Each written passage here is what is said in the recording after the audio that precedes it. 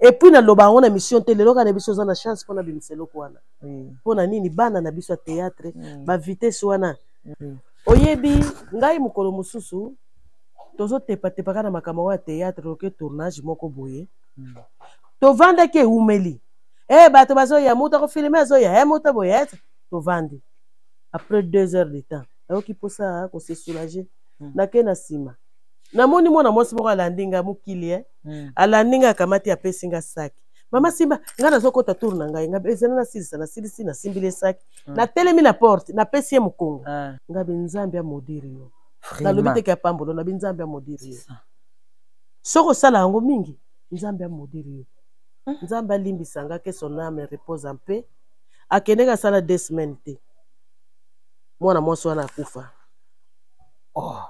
na mituni nzambe na lola eloko nini esalami mpo na mwana mwasi wana azalaki na malade te ntango tokutanaki mpe azokosa souvenir ya mabe naza nango mpo na théâtre nakota deja théâtre nakokufa na théâtre oui, oui. on ne sait jamais mpo nzambe aza nzambe ya basurprise yango wana euh, nga nabalaka à l'âge de 19 ans hmm. mobali toke braza towumeli to nga nasala 20 ans akende liboso na ngai nasali 20 ans na mboka na lere guerre ya lisuba mm. na station ezalaki na braza nde kozonga na ngai na kinshasa oui, oui. na 97 mm. lere nazongi tozongaki le 13 juin nde tokote guerre ebandaki le 5 si je ne me trompe pas mm. tala motu ekoli ah. nalongwe na brazzaville le 13 juin mm.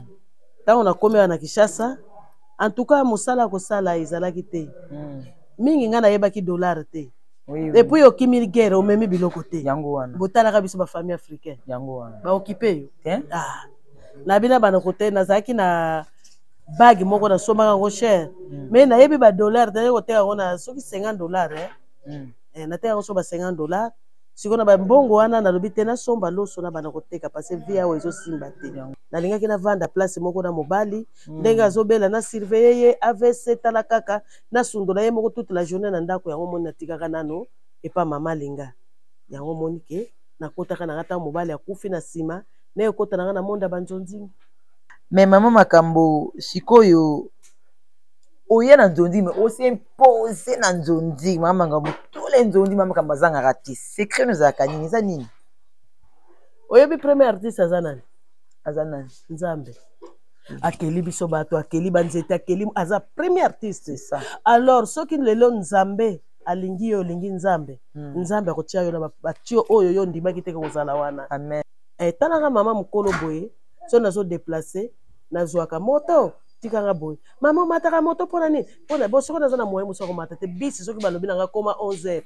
nga na longo na ndako 9 heures na bisi nakende koma 13 heures malamu nazwa mm. moto ekomisa mm. ngai avant place nakendeki oyo oh, nalingi mosala na nga makasi ya pas de son métier yake de soti genre donc mosala zoba ezalaka te bato nde ya bazoba bazali mm. eh. kaka na moke moke yango wana alobi no mwana na ngai nakozala na ngai na ekonomi eti na ndako te ebele mm. teke naza na 100 000 dollars naza na 10 mm. 000 naza na 5 000 non 1000 mm. franc kaka bana bazwi eloko ya kolia journée eleki eh, biso na kikongo tolobaka mbongo nsala mo nsala donc mbongo eza na ndenge moto asalelaka yango biso totalaka bobele nzambe toza na moto biso totalaka te soki apesi ngai lelo 1000 franc nakumisi nzambe soki lelo nazangi nakumisi ye kaka mais condition eza kaka moko kesi yango ekende te ke lelo tobandi kosala eh, biso na mitu ebimi lokola nioka na mai lobilobi todindi lisu te mm. ekende ti na suka mpo hmm. nayebi bato oyo baza na kati ya kesi wana baza bato ya serie hmm. ezala serie ti na suka ezala teke tobandi lelo mpo to biso mpe baartiste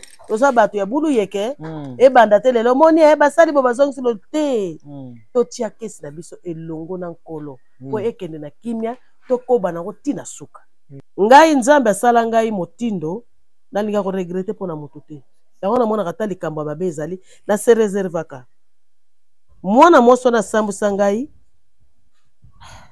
ti na niveau zero ngai soki lelo moto ayebi na ngai tokesala kisi nakoloba na ye age ya bokeni navandi na braza mm. nayoka bato baza koteka kisi na zandu voilà. natuni bango bino bomona yango ndenge nini mm. mpo nga nakendeke wenze nakutaka nani zando nakutaka kisi te mm. seke bino botunaka yango mm. yango bomonaka yango voilà. nasala 20 ans na mboka wana nayebi ta place oyo batiaka teke mosapi na basala bo bazongisa bo non yango omoni ti lelo soki nakokufa nakaka ndenge naza bopauvre mpo na nini nzambe moto ya lola moto apesaka mm. oyo ondimaki te nazalaka ndenge nazali na nzambe na nga merci mbote mbote na bino nyonso baya ngai ba mes amour baya ngai shida diza ba mère charge ya bamama j'espère ke bozali ebe liboso na bino ya kolanda oyo ya bino bopesa matoi mpo bolandaka nga boali telema ebele napesi bambote na nga mpe adjani mbembe depuis bruxelles babi ma grande sœur propre de sang bambote na yo ebele boali ebele mingi ya kolanda émission na bino bopréféra ba mes amour na ngai baye yanga bolingaka ngai lelo nayeli bino hey.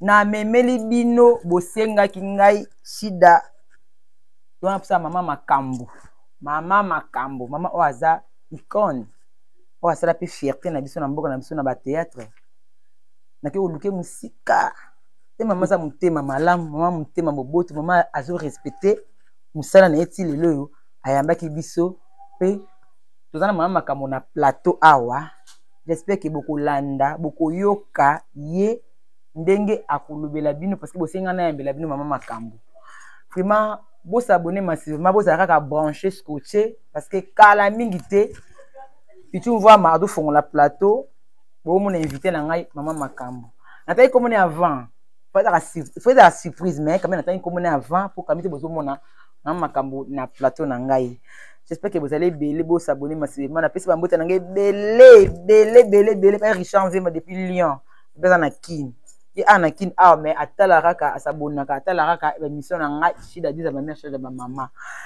maman makambo bonjour bonjour maman makambo oza na yo bien wa facile oma makambo ezalaka mpasi mpona kozwa kosala émission na ye maman tozwi ya facile te koyoka ezalaka mabe na komona mm, bato balobaka trop mm. Mm. mais oyo balobaka yango te moto ngai nazali mm. ah, ma makambo boni sante boni yo sante par la grâce eza bien mm. Eh, kimi ezali na ngolo ya nzambe mm. aza bien oza bien mm -hmm.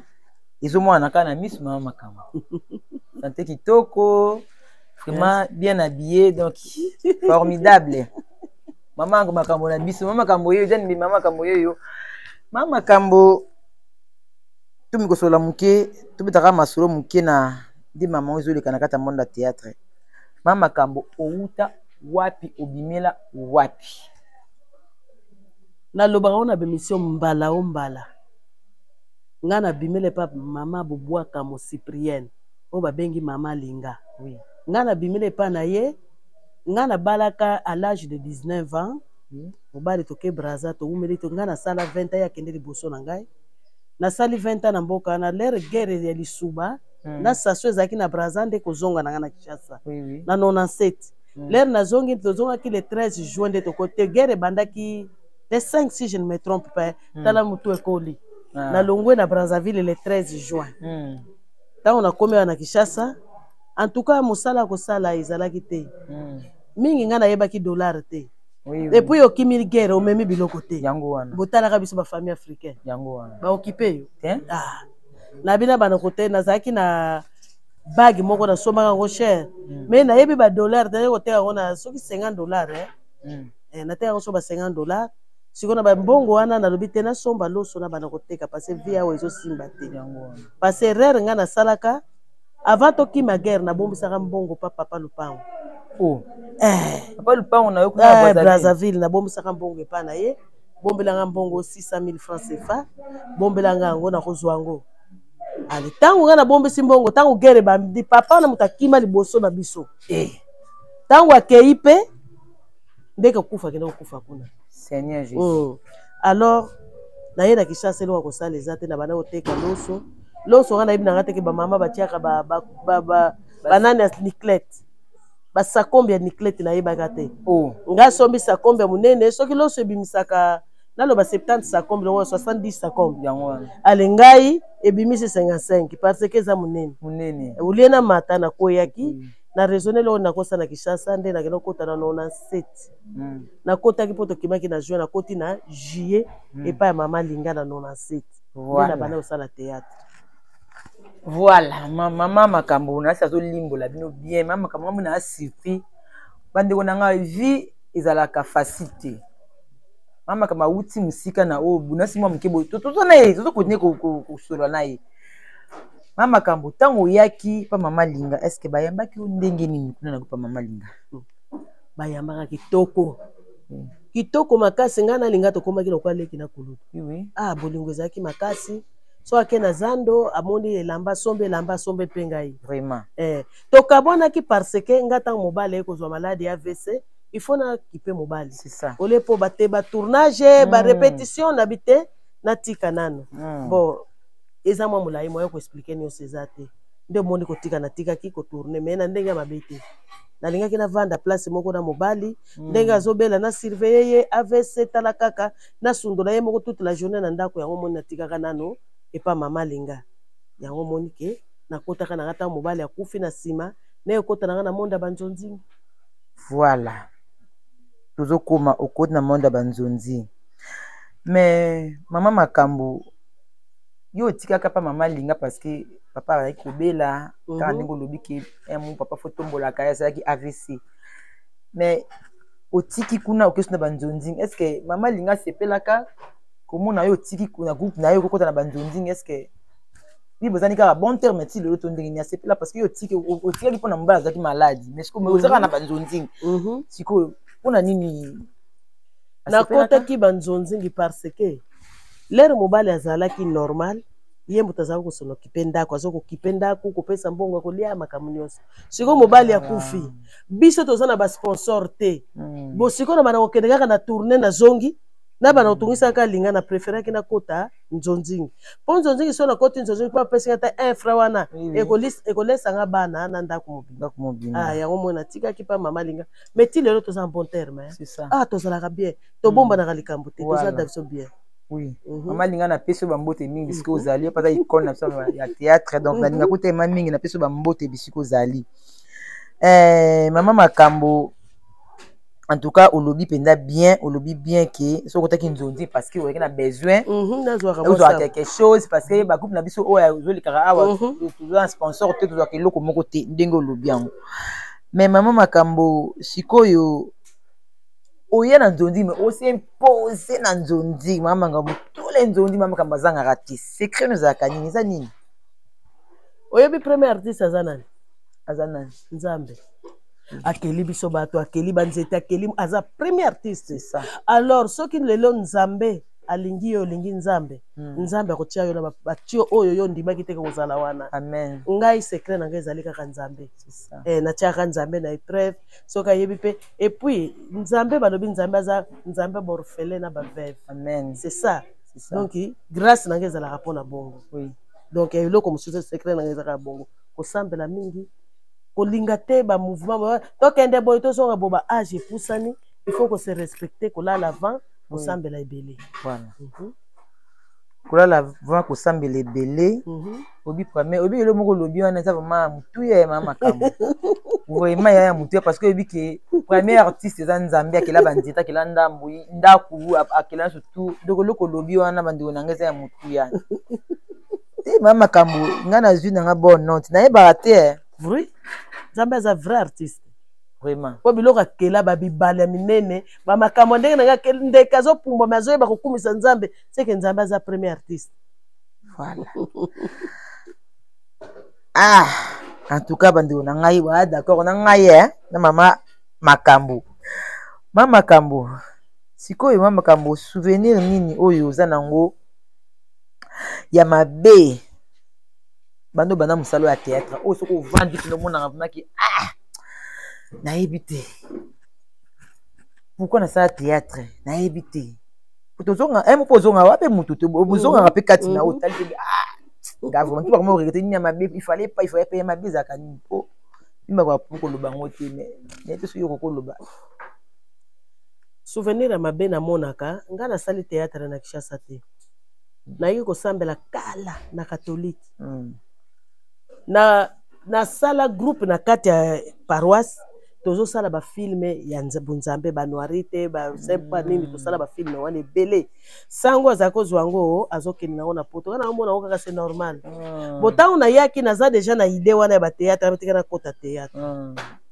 souvenir ya mabe naza nango mpo na théâtre nakota déjà théâtre nakokufa na théâtre oui, oui. on ne sait jamais mpo nzambe aza nzambe ya basurprise yango wana euh, ndenge bafingaka biso baartiste hmm. soki babandi kososola artiste oyoki na mawa hmm. mokoloba nini ozotala kaka hmm. ya mibale nayokaka mawa baartiste majorité tokufaka pauvre yango wana toza na eloko te eh, talanga mama mokolo boye so nazo deplace nazwaka moto tikanga boye mama omataka moto mpona nini mpona bo soki naza na moyen mosu akomata te bisi soki balobi na nga koma 11 heure ngai nalongo na ndako 9 heure na bisi nakende koma 13 heure malamu nazwa hmm. moto ekomisa hmm. ngai avant place nakendeke hmm. donc mawa na ngai ezalaka mpona théâtre yango wana toza mpenza na eloko te mais tozwaka moyen de vivre eh. ah, mais mama makambo théâtre bazwa kiloko te moyen de vivre ozomona te ke mosala yango il faut kosala sikoyo ndenge nini nayebi te peut-être bamboka mosusu bacomédien baza peut-être koévolue mieux par rapport na biso esalaka mhm. ezalaka nini kasi esalaka bongo mhm. bato batata batolela kaka eza mpasi secret moto moto ayebi yango ye moko ngai nakoyeba secret na yo te motu mpe akoyeba oyo ya ngai te me oyo nazoba ya ngai majorité so tozwi problème ekóma kaka songolo eh, kingande yaka eh, tala biso tala tomonana te biso baartiste tosimpose likambo lokola eza ya 10 000 dollars yo tia 500 yo tia 500 eza mwa pasi yango namonaka ete eza na eloko te mais ezaka mosala olingi yango mingi makasi oyo oh, nalingi mosala na nga makasi ya pas de son métier yake de saute genre donc mosala zoba ezalaka te bato nde ya bazoba bazali mm. eh, kaka na moke mokele yango nalobi no mwana na ngai nakozala nanga na ekonomi eti na ndako te ebele mm. teke naza na 100 000 dollars naza na 10 mm. 000 naza na 5 000 non 1000 franc kaka bana bazwi eloko ya kolia journée eleki obondeli nzambe batela bana batela ngai tianga kimia kimia oyo mokili epesaka te nzambe apesa ngai c'est ça mais mpo na bozwi wi baoyo baza nango baza nango mais majorité toza nango te baoyo baza nango baza nango wana bazwela yango wapi yango toyo makambo oyo bata théâtre lelo bano baesinga bana te bon bana pape banini bato biso comprendre te kaka mosala oyo bino bozobake mosala yango eza nango vraimen vraimen ya nini te mais bana yango bazozwaka yango wapi eh, biso na kikongo tolobaka mbongo nsala monsala hmm. donc mbongo eza na ndenge moto asalelaka yango biso totalaka bobele nzambe hmm. toza na moto mosusu totalaka te soki apesi mm. ngai lelo 1000 franc nakumisi nzambe soki lelo nazangi nakumisi ye kaka soki nakozwa na age mpo nazo décembre oyo nazokokisa 65 ans naza deja mokolo le 27 tozalaka age tozalaka mokolo moko ngai na président elombe le 27 mm. date moko mais mbula moko te voilà. ah, c'est ça alors na 65 ans na nga mm. natalaka oyo eza pembeni natalaka oyo eza mosika te amen mm. merci mama makambo ba bon souvenir ya malamu oyo oza nana kati ya théâtre ya malamu oyo soki ovandi obaka e eh, nzambe soki mpe nasaki théâtre te soki mpe théâtre te lelo soki mpe ndenge nini ya nini oza nango ba bon souvenir bon souvenir na ngai nalia na bakonzi esika moko voilà. souvenir ya makasi naza nango ngai apart bakongo nayebi mm. bandundu oyo nasukaka na plateau de bateke voilà.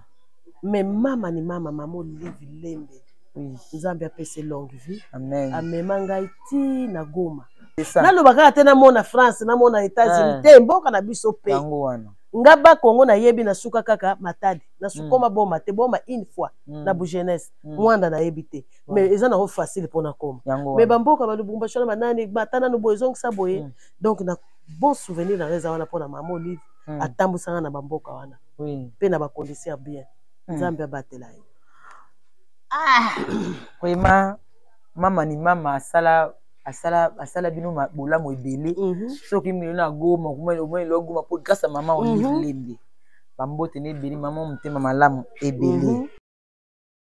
sikoyo mama makambo est ce que mosala osalaka bana na yo obota okolinga mpe basala mosala oyo oui. misala na kinshasa ezali tuna kompani na ebimi oyo baza koengage bato ata osilisa classe oyekola na bakompani eza te ata mosala théâtre akende kolekisa neti mwana na ngai ya mwasi ya misato hmm. akomi kokende kosalaka nani eh, répétition oui, oui. Eh, akendeke epa mocopi ah. eh, azosalaka barépétition un jour soki abimisa ba hmm. nyonso ezalaka na maboko ya nzambe ezalaka mokano na biso te Voilà, nous avons mokano nzambe, mais ça va nous faire ba ki. Baza ba artiste et comédien, ce que tu n'es question, est-ce que moi na nanga ko sala théâtre, ben rien ça le kuta. Soki mwana alingi yango, ye akoloba na ye te.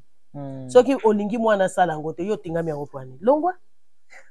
Donc wana nyonso na mwana yango eza lokuta mbo moto na moto na conception na ye eh. ngai hmm. mwana yango sala se normal aza mwana na ye me ngai oyo ya ngai soki alingi asala na kopekisa te ye moko akutana oyo eza na kati ya théâtre voilà. condition kaka aluka kisi te mm. atalela nzambe oyo ya lola mm. bandeko na ngai nasi bozwana na mama makambo azwa makambo ezali clasalaka théâtre akopesa mpe mwana ya sala théâtre eza mosala parce qu'il n'y a pas mm. de son métier na quelle sorte de gens bambote na ngai ebele epai ya vie na ngai lutumba simbi depuis en angleterre bambote na ye ebele mama makambo hmm, eloko nini esalaka soki motu non non non question na ngai eza boye basali kese ya baartiste ya comédien kese wana basali mpona kotyaka mwa ndamu ndamu ndamu soki lelo problème ekozala kaka ndenge ezalaka kese wana ide wana bosepelaki nango to ndenge nini po bozolela trop soki lelo bozwi problème ekomaki o oh, bona biso kese basali wana ozomona te ekosunga bote o oh, mpo ngai nazali ngai moko ngai ah. nasepelaki nango mais yo nayebi te ye nayebi te kuna mpe nayebi te mpo na ngai namonaki initiative oyo bazwaki eza malamu olio tolelaka parci par là soki toza na kesi na biso hmm. soki problème ezali toketala na kesi eh, tosali likambo toza nango besoin esili hmm. mais condition eza kaka moko kesi yango ekende te ke lelo tobandi kosala eh, biso na mitu ebimi lokola nioka na mai lobilobi todindi lisu te hmm. ekende ti na suka hmm. po nayebi bato oyo baza na kati ya kesi wana baza bato ya serie hmm. ezala serie ti na suka ezala teke tobandi lelo po to biso mpe baartiste toza bato ya bulu yeke hmm. ebanda te lelo omoni e basali bo bazongisi lo te totia kesi na biso elongo na nkolo mpo ekende na kimia tokoba nango ti na suka c'est ça c'est ça bokoba nango kino na suka parce que kesi wana ekosunga ebele ekosunga ebele ozobela ozosala boye ale balobi te ndeko naosa lokola azobela to mm. touche kesi te moto na moto apesa na ata 10 dola ata 5 dola 5 dola ah. oui kesi sikoyo soki evimbi makambo ekomi ebele nde tozolongolaka ndambo ndambo tosunga bo tosala bo tolekisa bo ah. c'est ça kesi eza ida bien moto mm. azwi initiative wana aza vraiment très sage na félicité ye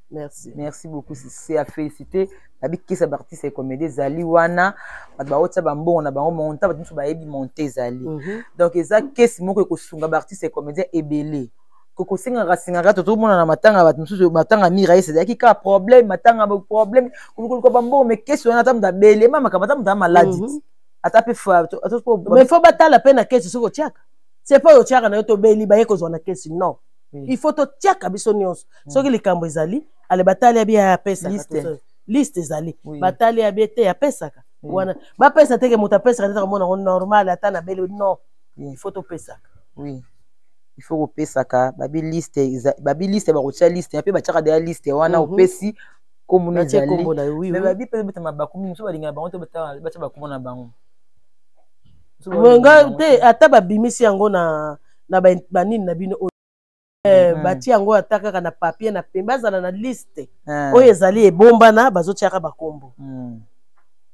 vraiment yango wana tobaki ke eloko nini esalaka soki mutu esalaka soki mutu na bino moko atete akufi mona osengaka yango soki omoni kesi ko kesi eye nasi boye kosenga susu te eza bongo te. ekosenga ekozanga te mpo kesi eyeka sikoyo Oh. ah oui eh?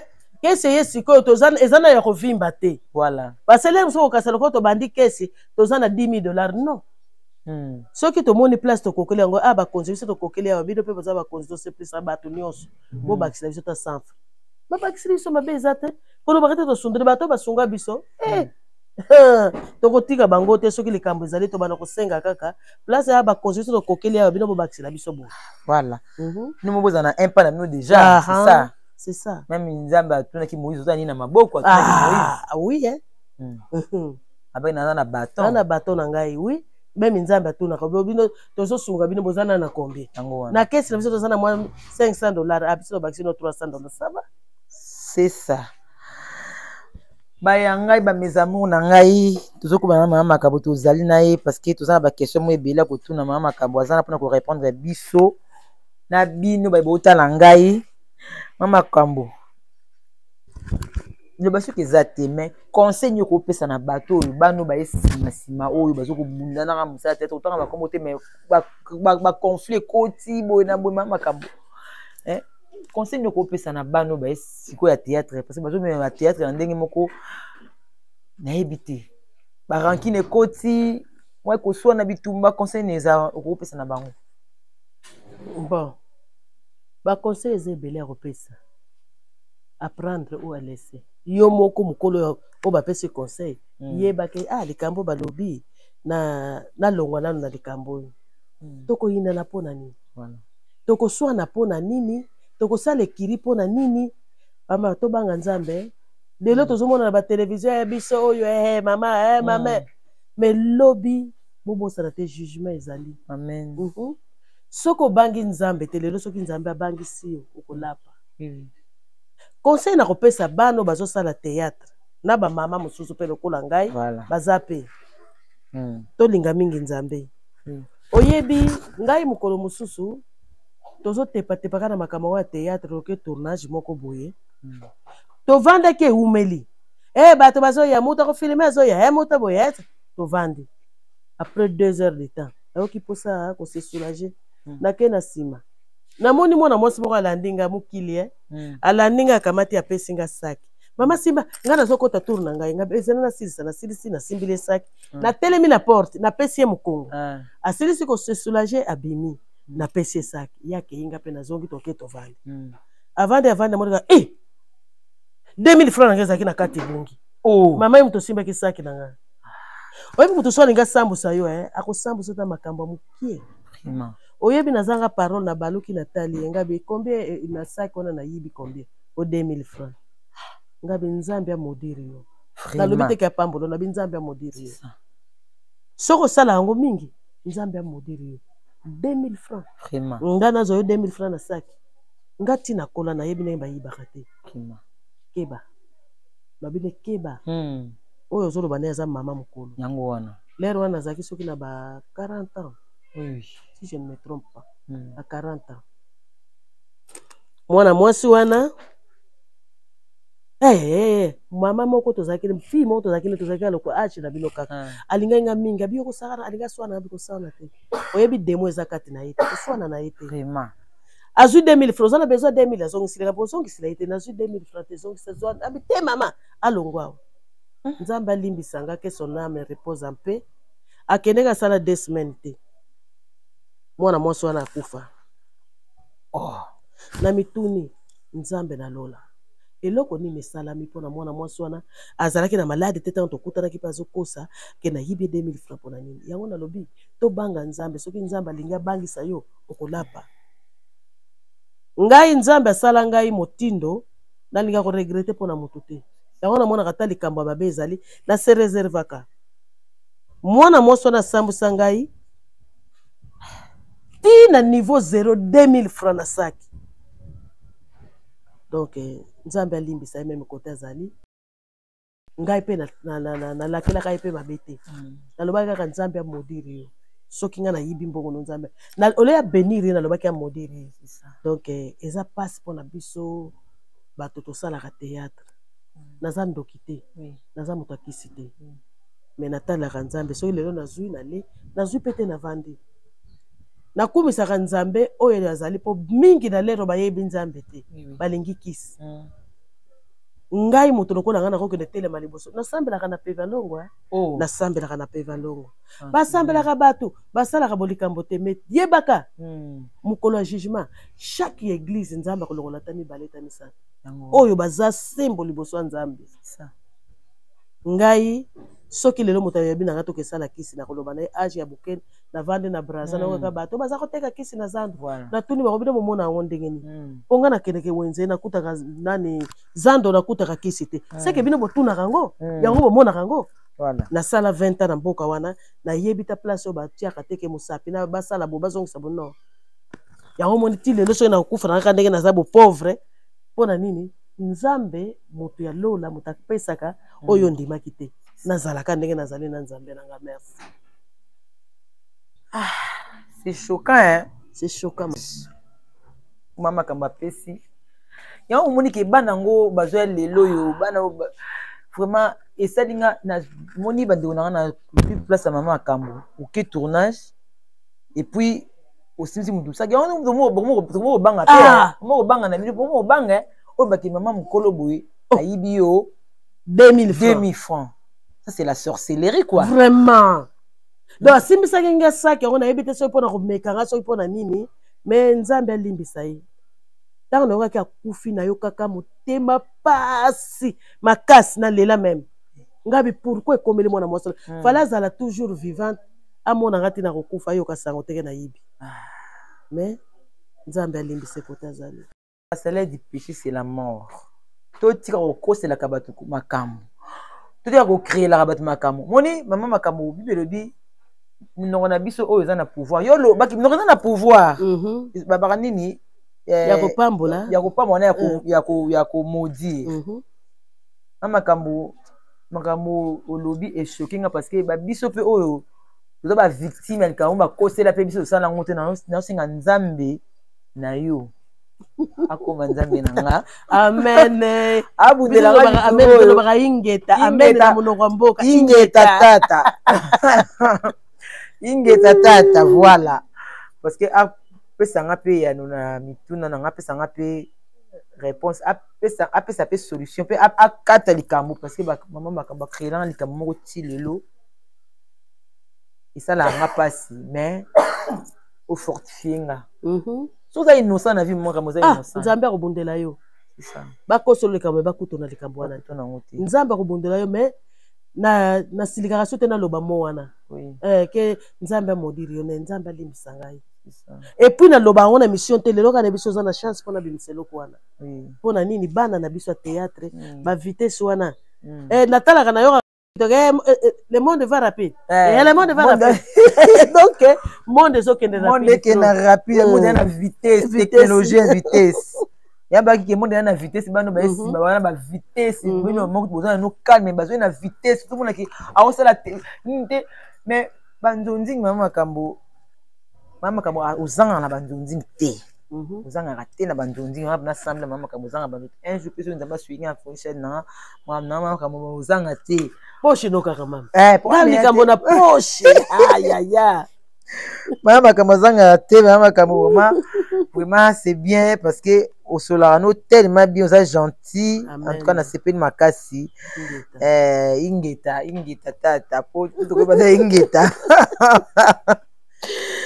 ba makambo mm. eh liloba suka eza te toza na liloba ya kokata nani ya kokata émission ya kokata vraimen te ya kopesa donc liloba ya kokata mais kopesa mpe bwa conseil susu mpona opesa bato na yo nsutu mbote oyo bazolanda yango liloba na ngai oyo nazo ya kokata émission yango oyo tolingana na biso omoni Feu président Mobutu azalaki tata bo moko mama bo ekolo bo mokonzi bo moko. Tozala bo moko. tolingana na biso tobanganaka te mpo ekoma so okomi epai mosusu ovandi ozobanga moninga mm. ozobanga mwana e eh, hey, mwana o vitesse e eh, hey, mwana boye neti mama lokola ngai mm. nayebi te bandembe na biso eza bamama alinga bapembele mm. babipendu mm. bamaboli bandembe na biso yango wana mm.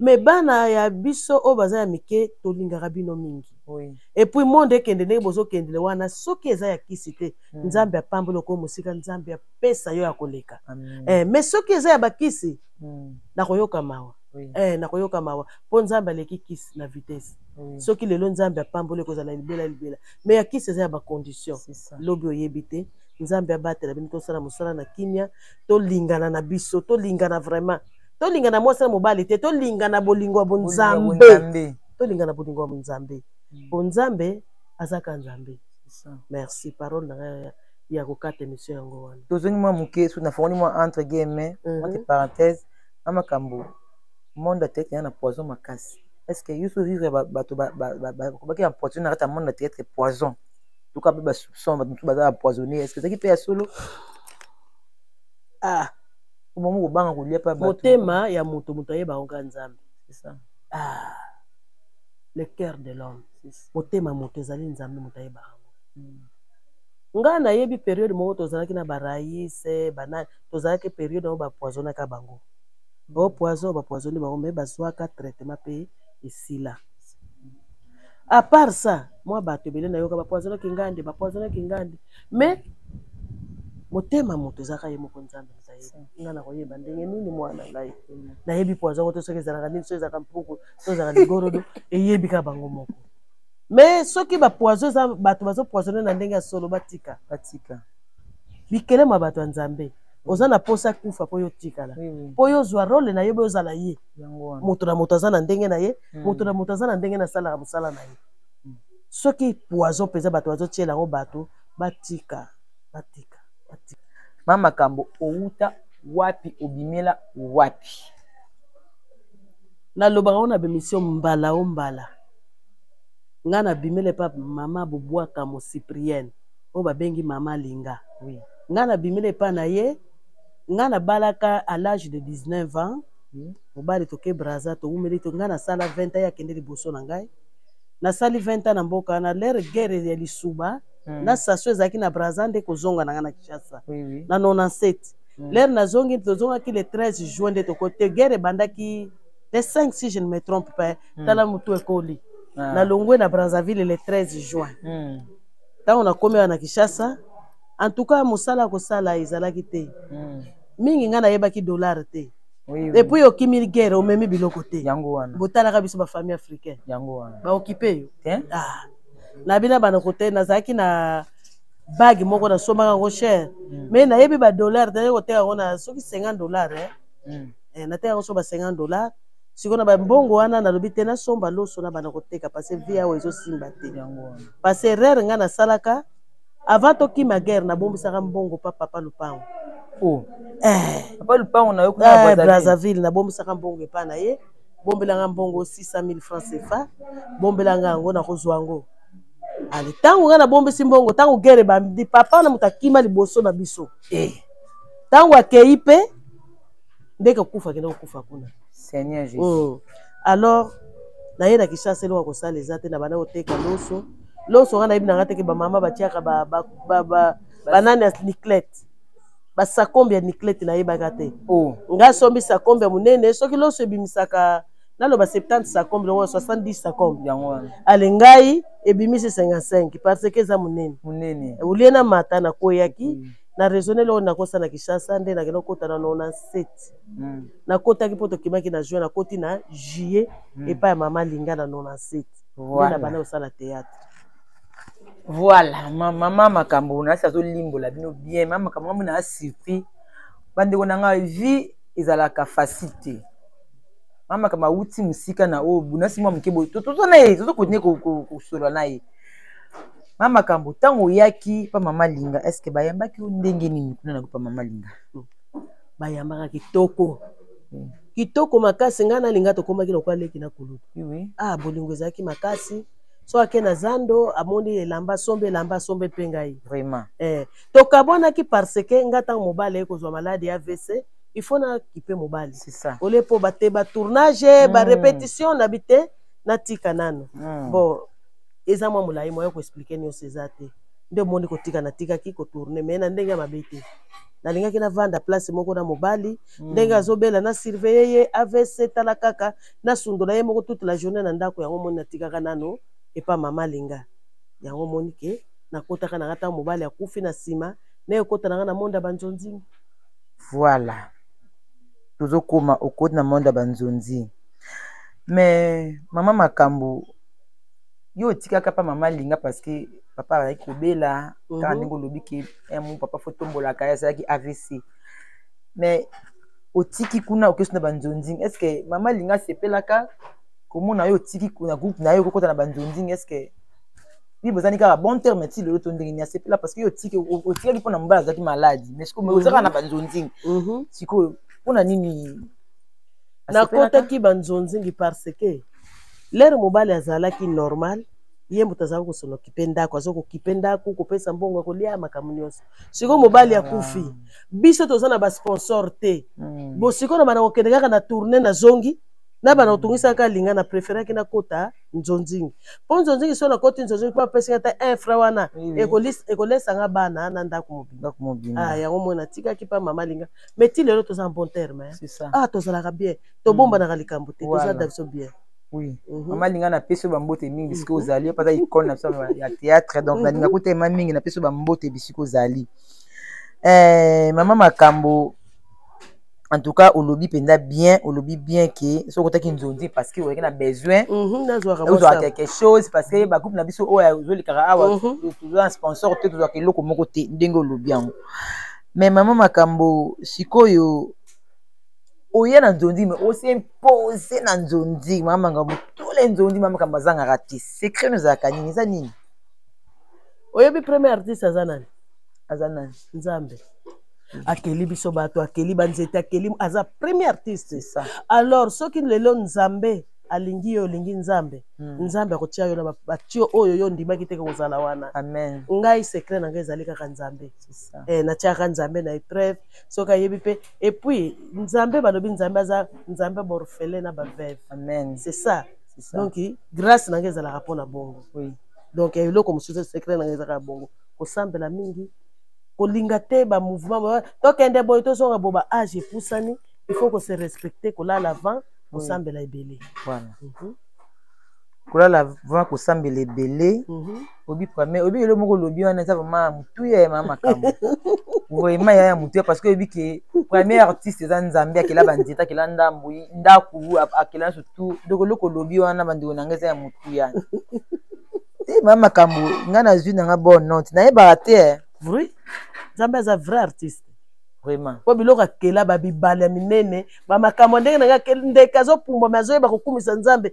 c'est que nzambe aza premier artiste voilà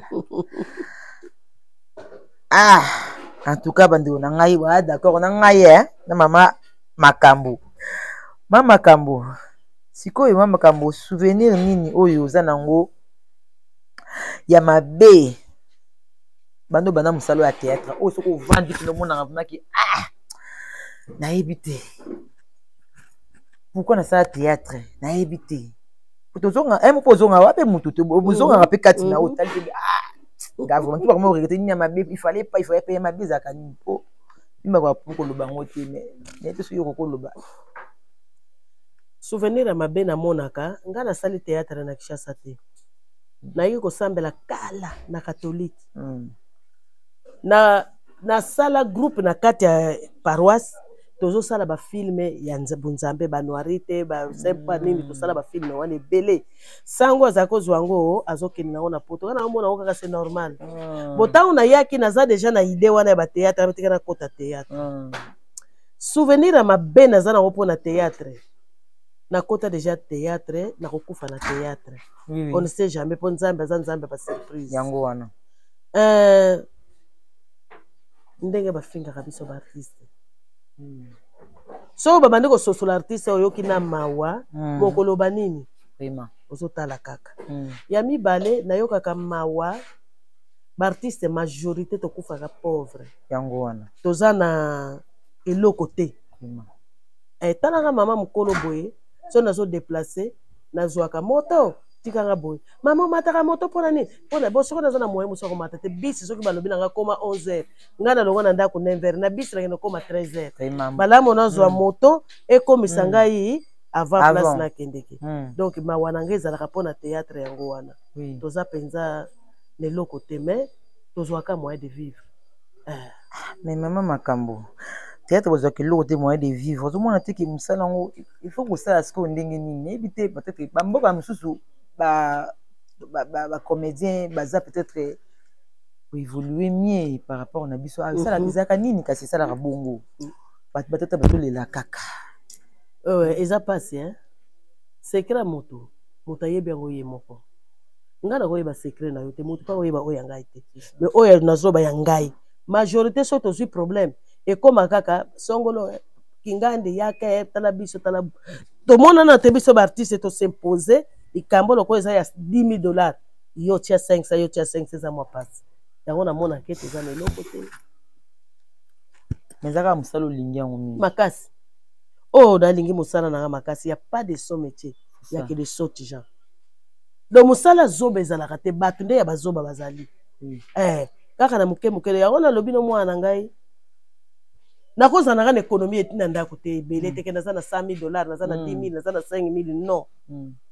1000 francs kaka bana bazwi eloko ya kolia journée eleki hmm. obondeli nzambe batela bana hmm. batela ngai tianga kimia hmm. kimia oyo mokili epesaka te nzambe apesa ngai c'est ça mais mpo na bozwi wi bango baza nango baza nango mais majorité toza nango te bango baza nango baza nango wana bazwela yango wapi yango toyo makambo oyo bata théâtre lelo bana oyo bayesinga bana te bon bana parape banini bato biso comprendre te kaka mosala oyo bino bozobake mosala yango eza nango vraimen vraimen ya nini te me bana yango bazozwaka yango wapi eh, biso na kikongo tolobaka mbongo nsala monsala hmm. donc mbongo eza na ndenge moto asalelaka yango biso totalaka bobele nzambe hmm.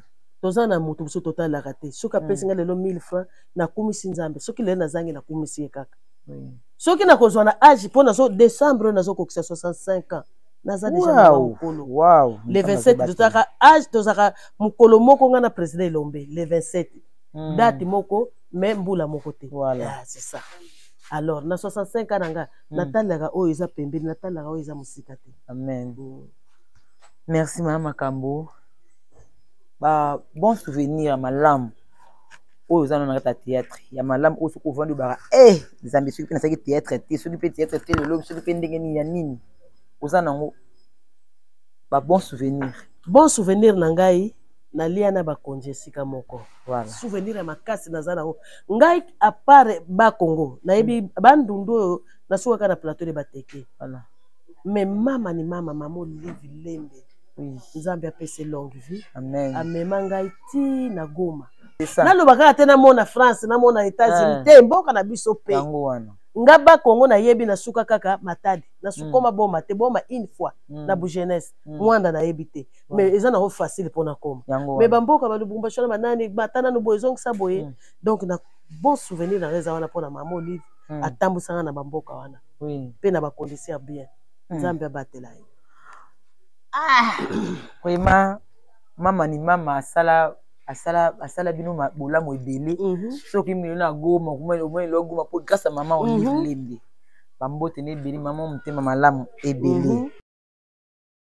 sikoyo mama makambo estce mosala osalaka bana na yo obota okolinga mpe basala mosala oyo misala na kinshasa ezali tuna kompani na ebimi oyo baza koengage bato ata osilisa classe oyekola nani bakompani eza te ata mosala théâtre akende kolekisa neti mwana na ngai ya mwasi ya misato hmm. akoma kokende kosalaka nani eh, répétition oui, oui. Eh, akendeke epa mocopi ah. eh, azosalaka barépétition un jour soki abimisa ba hmm. nyonso ezalaka na maboko ya nzambe ezalaka mokano na biso te Voilà, nous avons mokano nzambe, mais ça va nous faire du barki. Parce que parti c'est comédien, ce que tu n'es question, est-ce que moi na nanga pour ça théâtre, mais rien ça le coup ça. Ce que moi na lingi ango, il y a ko loba na été. Hmm. Ce que olingi moi na sala ango te yo tingami ango pwani. Longwa. Donc wana nyoso na mona ango eza le coup tan bon. Mutu na mutu na conception na ye, hein. ngai moi na hmm. ça c'est normal ya za moi na ye. me ngai oyo ya ngai soki alingi asala na kopekisa te ye moko akutana oyo eza na kati ya théâtre voilà. condition kaka aluka kisi te mm. atalela nzambe oyo ya lola mm. bandeko na ngai nasi bozwana na mama makambo azwa makambo ezali clasalaka théâtre akopesa mpe mwana ya sala tete eza mosala parce qu'il n'y a pas mm. de son métier na quelle sorte genre bambote na ngai ebele epai ya vie na ngai lutumba simbi depuis en angleterre bambote na ye ebele mama makambo hmm, eloko nini esalaka soki motu non non non question na ngai eza boye basali kese ya baartiste ya comédien kese wana basali mpona kotyaka mwa ndamu ndamu ndamu soki lelo problème ekozala kaka ndenge ezalaka kese wana ide wana bosepelaki nango to ndenge nini po bozolela trop soki lelo bozwi problème ekomaki o oh, bona biso kese basali wana ozomona te ekosunga bote o oh, mpo ngai nazali ngai moko ngai ah. nasepelaki nango mais yo nayebi te ye nayebi te kuna mpe nayebi te mpo na ngai namonaki initiative oyo bazwaki eza malamu olio tolelaka parci par là soki toza na kesi na biso hmm. soki problème ezali toki tala na kesi eh, tosali likambo toza nango besoin esili hmm. mais condition eza kaka moko kesi yango ekende te ke lelo tobandi kosala eh, biso na mitu ebimi lokola nioka na mai lobilobi todindi lisu te hmm. ekende ti na suka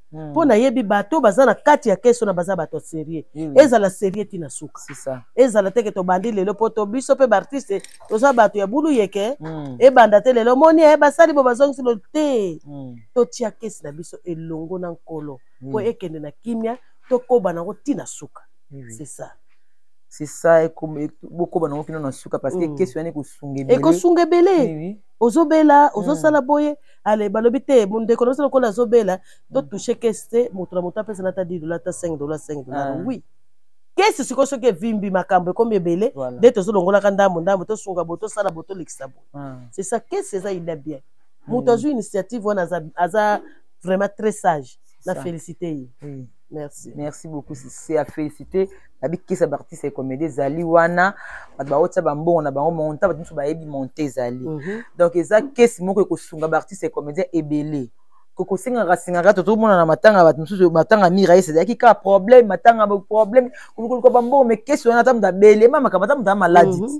ata mpe mais fo batala mpe na kesi soki otyaka se mpo otyaka na yo tobeli baye kozwa na kesi non Oui. il faut totiaka biso nyonso Mm. soki likambo ezali ale batali ya bie apesaka Liste. tozo- liste ezali Oui. batali ya bie te apesaka Oui. wana bapesa teke moto apesaka te takomona yango normal ata na bele non Oui. il faut topesaka oui il faut kopesaka babi liste eza- babi liste bakotya liste mpe batyaka deya liste wana Mhm. opesi kombo no natie ezali kombo na yo oui, me oui. babi mpe beta mabaku mingi mosusu balingaka bango te bata- batya bakombo na bango Mosusu Mwe balingaka nga bango te ata babimisi yango na na ba, ba nini na bino oyo Eh, Mhm. batia yango ata kaka na papier na pembe azala na liste Ah. oyo ezali ebombana bazotiaka bakombo Mm. vraiment yango wana tobaki ke eloko nini esalaka soki mutu esalaka soki mutu na bino moko atete akufi mona osengaka yango soki omoni kesi ko kesi eye nasi boye kosenga susu te eza bongo te. ekosenga ekozanga te mpo kesi eyeka sikoyo Oh. ah oui eh?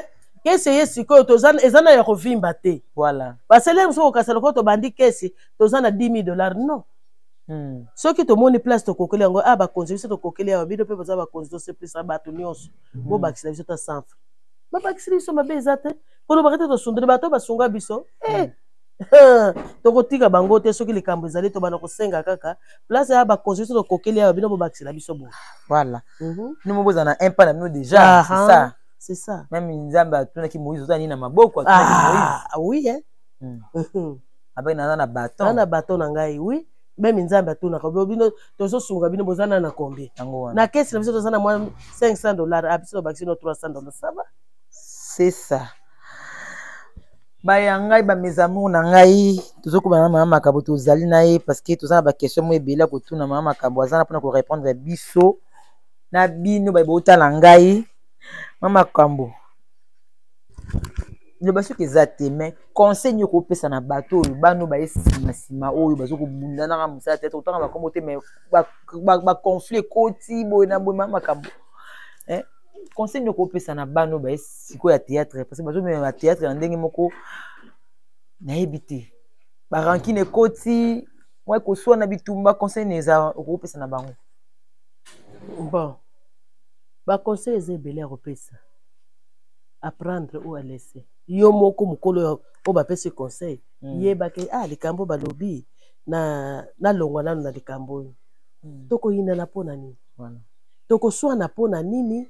Tokosala ekiri mpo na nini? Mama tobanga Nzambe. Lelo mm. tozomona na ba television ya eh, biso oyo eh, eh mama eh, mm. mama. Mm. Mais lobi bobosana te jugement ezali. Amen. Mm -hmm. soki obangi nzambe te lelo soki nzambe abangisi yo okolapa mm. conseil na kopesa bana oyo bazosala théâtre na bamama mosusu mpe lokola ngai voilà. baza mpe mm. tolinga mingi nzambe mm. oyebi ngai mokolo mosusu tozotepatepaka na makambo yango ya théâtre loke tournage moko boye mm. tovandaki ewumeli e eh, hey, bato bazoya moto akofilme azoya e eh, hey, moto boye eh, tovandi après deux heures de temps nayoki mposa ya ko se soulager mm. nake na nsima namoni mwana mwasi moko alandi nga mokili eh? mm. alandi nga akamati apesi nga saki mama simba ngai nazokota tour na ngai ngai ezali nasilisa nasilisi nasimbili ye saki mm. natelemi na porte napesi ye mokongo ah. asilisi ko se soulager abimi mm. napesi ye saki ye akei nga mpe nazongi toke tovandi mm. avandi avandi amonaka e eh! 2000 franc na ngai ezalaki na kati ebongi oh. mama ye moto osimbaki saki na ngai oyebi moto so alingi asambusa yo eh? akosambusa ta makambo ya mokie oyebi nazanga parole na baluki natali ye ngabe combien eh, na saki wana nayibi combien o 2000 francs ngabe nzambe amodiri yo nalobi teke apambolo nabi nzambe amodiri yo soki osala yango mingi nzambe amodiri yo 2000 francs nga nazwa yo 2000 francs na saki nga ti nakola nayebi ndenge bayibaka te keba babine keba hmm. oyo ozoloba naye aza mama mokolo yango wana lere wana azalaki soki na ba 40 ans oui.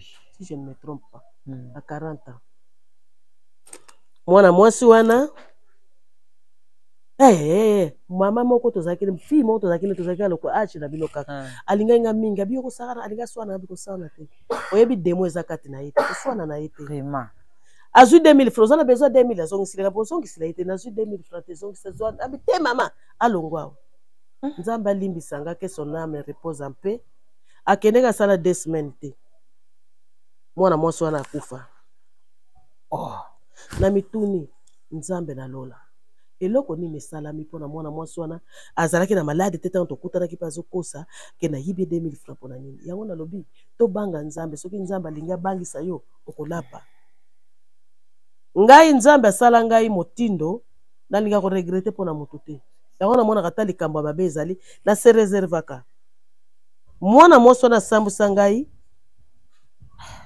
ti na niveau 0 2000 franc na saki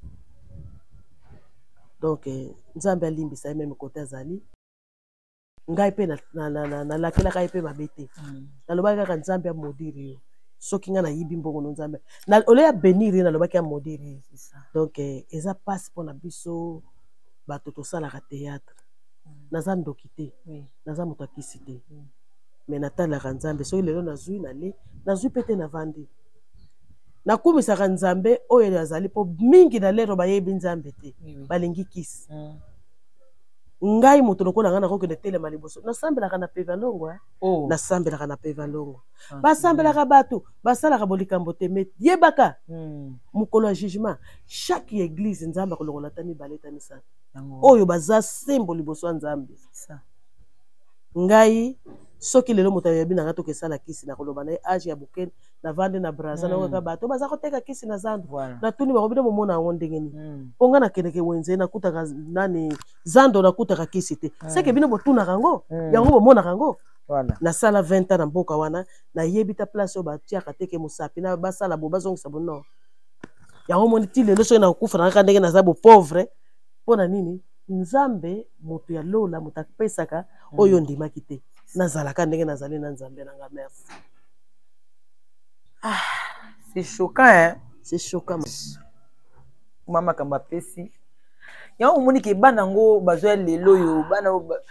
vraiment esali nga namoni bandeko na nga na plus place ya mama makambo oke tournage epuis osimisi moto mosaki yango bokomokobanga te ah! omokobanga na bino bokomokobanga eh? oyo bake mama mokolo boye oh. ayibi yo 2000 francs ça c'est la sorcellerie quoi vraiment donc asimbisaki ngai saki yango nayebi te soki mpo na komeka ngai soki mpo na nini me nzambe alimbisa ye ntango nayokaki akufi nayokaka motema pasi makasi nalela meme ngabi pourkui ekomeli mwana mwasi hmm. fala azala toujours vivante amona nga te nakokufa ayoka sango teke nayibi ah.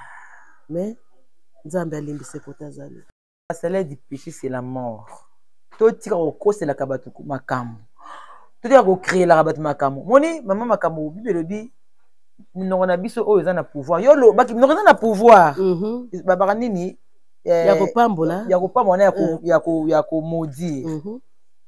na makambo makambo olobi echoke nga parce que babiso mpe oyo toza bavictime ya likambo bakosela mpe biso tosala yango te naosenga nzambe na yo akoma nzambe na nga amen abundelaaolobaka ingeta amen na monoko ya mboka ingeta tata ingeta tata voilà parce que apesa nga mpe yano na mituna na nga apesa nga mpe réponse apesa apesa pe solution pe akata likambo parce que mama makambo acreelanga likambo moko ti lelo esalaka nga mpasi mais ofortifie nga mhm. soki oza innocent na vie mama makambo oza ah, innocent nzambe akobundela yo bakosolo likambo me bakuto na likambo wana te nzambe akobundela yo mais na nasilikaka so te naloba mo wana oui. eh, ke nzambe amodiri yo ne nzambe alimbisa ngai epuis naloba yango na mission te lelo kaka na biso oza na chance mpo nabimisa eloko wana mpo na nini bana na biso ya théâtre mm. ba vitesse wana mm. eh, natalaka na yo donc eh, eh, eh, le monde va rapide eh, eh, le monde va rapide donc eh, monde ezokende monde ekende rapide yango mm. na vitesse technologie ya vitesse yabaki ke monde na vitesse bano baye nsima mhm. wana ba vitesse mhm. bino moko boza na no calme bazwi na vitesse tomona ke aosala te nini te mais banzonzingi mama makambo mama makambo ozangana na banzonzingi te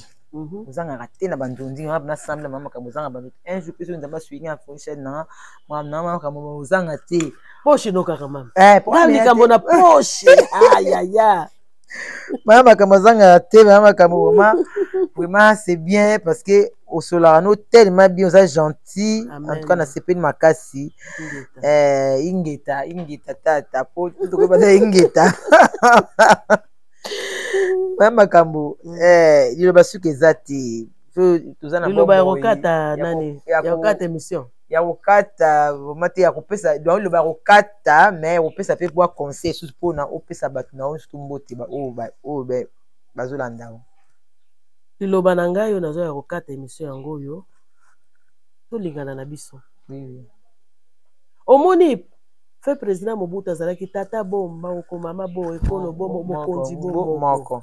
Tozala bo moko. tolingana na biso tobanganaka te mpo ekoma so okomi epai mosusu ovandi ozobanga moninga mm. ozobanga mwana e eh, hey, mwana o vitesse e eh, hey, mwana oboye neti mama lokola ngai mm. nayebi te bandembe na biso eza bamama alinga bapembele mm. babipendu mm. bamaboli bandembe na biso yango wana oui. me bana ya biso oyo baza ya mike tolingaka bino mingi oui. epuis monde ekende ndenge bozokendele wana soki eza ya kisi te mm. nzambe apamboli okoo mosika nzambe apesa yo ya koleka eh, me soki eza ya bakisi mm. nakoyoka mawa oui. eh, nakoyoka mawa mpo nzambe aleki kisi na vitese oui. soki lelo nzambe apamboli ekozala libela libela me ya kisi eza ya bacondition lobi oyebi te nzambe abatela bino tosala mosala na kimia tolingana na biso tolingana vraiment tolingana mwasi na mobali te tolingana bolingo ya bonzambe tolingana bolingo ya bonzambe hmm. bonzambe azaka nzambe merci parole na ngai ya kokata emission yango wana tozongi mwa moke soki nafongoli mwa entre guillemets mhm. entre parenthèse na makambo monde atekete ya na poison makasi est ce que yo so vivre bato bakobaki empoisonne na kati ya monde atekete poison toka mpe basoupçon bato mosusu baza empoisonne est ce que ezalaki mpe ya solo ah obomi kobanga kolia mpe motema ya moto moto ayeba yango kaka nzambe ah le cœur de l'homme motema moto ezali nzambe moto ayeba yango hmm. ngai nayebi periode moko tozalaki na baraise bana tozalaki periode yango bapoisonaka bango bapoison bapoisoni bango me bazwaka traitement mpe esila à part ça mwa bato ebele nayoka bapoisonaki ngai nde bapoisonaki ngai nde mais motema moto ezalaka ye moko nzambe nga nakoyeba ndenge nini mwana ngai nayebi po azango te soki ezalaka nini soki ezalaka mpuku so ezalaka ligorodo eyebi kaka bango moko mais soki bapoison eza bato bazopoisonne na ndenge ya solo batika batika bikelema bato ya nzambe oza na posa kufa mpo yo otikala mpo yo ozwa role na yo be ozala ye moto na moto aza na ndenge na ye hmm. moto na moto aza na ndenge nasalaka mosala na ye soki poison mpenza bato bazotyela yango bato batika batika batika mama kama pesi conseil mama kama opesa bato na yo mboto tu balandi emission basepelaka na yo tusa kaka ndenge ezalaka hmm.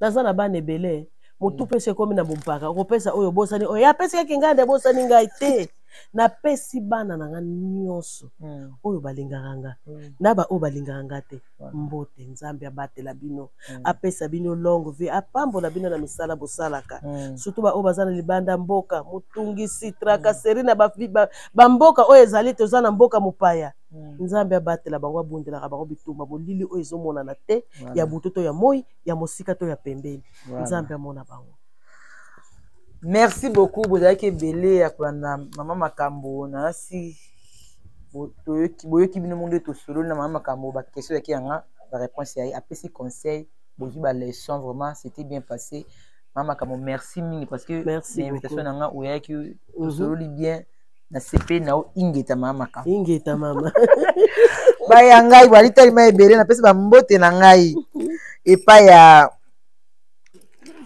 vie na ngai eh, lutumba simi depuis angleterre richard mvemba depuis lio bamboto na yo ebele makopi de moi depuis luanda ye mwana londa solo tulomba banatasha bamboto na yo ebele napesi mbote na ngai pa blandi longue histoire mwana yolo mama lupango bambote ebele napesi bambote ebele napesi bambote na ngai baye nyonso to balandaka ngai shida diza bamare naza awa bokonde kobenga boza na besoin toyambela bino invité moko soki tati wapi tokokende toza na bino elongo tosaka mosala na biso azonga polemique te nasi soki tobeteli no libaku bolimbisa mhm. to tobaki mpe malamu tokotinda na bino elongo nasi mbala nsima napesi alengi mbote depuis france boyatami ebele ya kolanda biso mbala nsima invité ya nsima tokoyambela bino baye epuis naloba yango na mission te lelo kaka na biso oza na chance mpona bimisa eloko wana mpo na nini bana na biso ya théâtre mm. bavitesse wana mm. oyebi ngai mokolo mosusu tozotepatepaka na makambo yango ya théâtre loke tournage moko boye mm. tovandaki ewumeli e eh, bato bazoya moto akofilme azoya e eh, moto boye eh, tovandi après deux heures de temps ayoki mposa kose soulage mm. nake na nsima namoni mwana mwasi moko alandi nga mokili e mm. alandi nga akamati apesi nga saki mama simba nga nazokota tour na ngai nga ezali nasilisa nasilisi nasimbili esaki mm. natelemi na porte napesi ye mokongo ah. ngabe nzambe amodiri yo nalobi teke apambolo nabi nzambe amodiri yo soki osala yango mingi nzambe amodiri yo mm. nzambe alimbisa nga ke son ame repose en paix akendeki asala deux semaine te mwana mwasi wana akufa oh.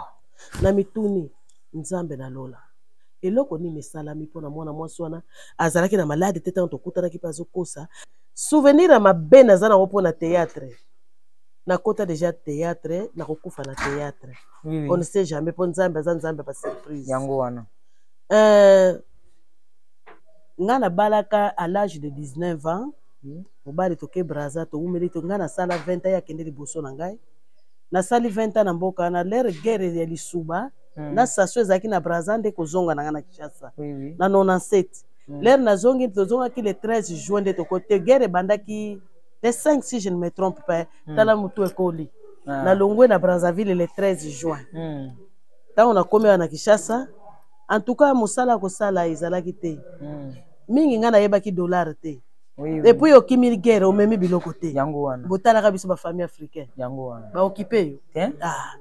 na bina bana kote nazalaki na bage moko nasombaka yango cher mm. mais nayebi badollar naye koteka yango na soki 50 dollar eh.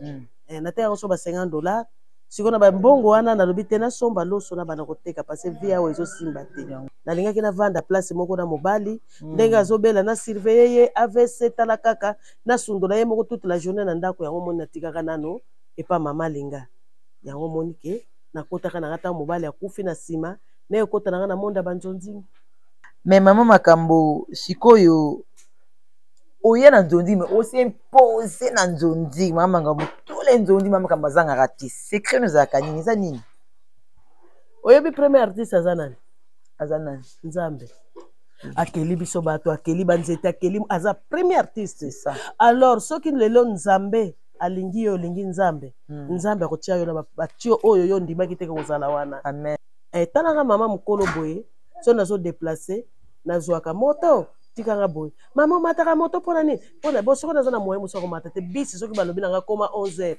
ngai nalongo na ndako 9 heures na bisi nakende koma 13 heures Hey, mama. malamu nazwa Mm. moto ekomisa Mm. ngai avant Avant. place nakendeki oyo nalingi mosala na nga makasi ya pas de son métier ya Ça. que de saute jean donc mosala zoba ezalaka te bato nde ya bazoba bazali Mm. eh, kaka na moke moke yango nalobi no mwana na ngai nakozala nanga na ekonomi eti na ndako te ebele mm. teke naza na 100 000 dollars naza na 10 mm. 000 naza na 5 000 non 1000 mm. franc kaka bana bazwi eloko ya kolia journée eleki eh, biso na kikongo tolobaka mbongo nsala mo nsala donc mbongo eza na ndenge moto asalelaka yango biso totalaka bobele nzambe toza na moto biso totalaka te soki apesi ngai lelo 1000 franc nakumisi nzambe soki lelo nazangi nakumisi ye kaka mais condition eza kaka moko kesi yango ekende te ke lelo tobandi kosala eh, biso na mitu ebimi lokola nyoka na mai lobi lobi todindi lisu te hmm. ekende ti na suka hmm. mpo nayebi bato baza na kati ya kesi wana baza bato ya serie hmm. ezala serie ti na suka ezala teke tobandi lelo mpo to biso mpe baartiste toza bato ya bulu yeke ebanda te lelo moni e basali bo bazongisi lo te totia kesi na biso elongo na nkolo mpo ekende na kimia tokoba nango ti na suka ngai nzambe asala ngai motindo nalinga koregrete mpo na motu te yango namonaka ata likambo ya mabe ezali na se reservaka mwana mwasi wana asambwisa ngai ti na niveau zero ngai soki lelo moto ayebi na ngai toke esala kisi nakoloba na ye age ya bokeni navandi na braza mm. nayoka bato baza koteka kisi na zando voilà. natuni bakobi nde momona yango ndenge nini mpo mm. ngai nakendeke wenze nakutaka nani zando nakutaka kisi te mm. seke bino botunaka yango mm. yango bomonaka yango Voilà. nasala 20 ans na mboka wana nayebi ta place oyo batiaka te ke mosapi na basala bo bazongisa bo non yango omoni ti lelo soki nakokufa nakaka ndenge naza bopauvre mpo na nini nzambe moto ya lola moto apesaka mm. oyo ondimaki te nazalaka ndenge nazali na nzambe na nga merci